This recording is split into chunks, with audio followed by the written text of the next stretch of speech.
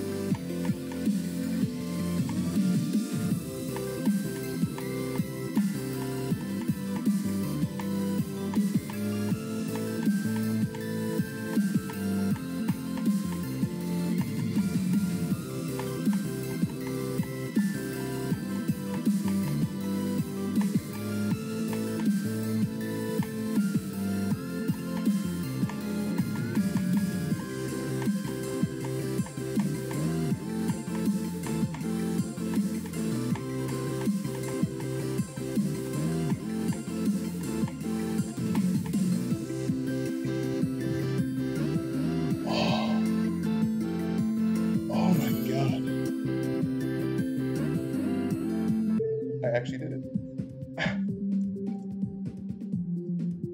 I have officially beaten an extreme demon.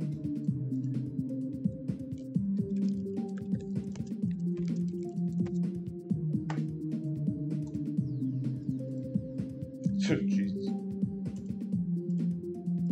And I just made this copy not too long ago. Let's frickin' go!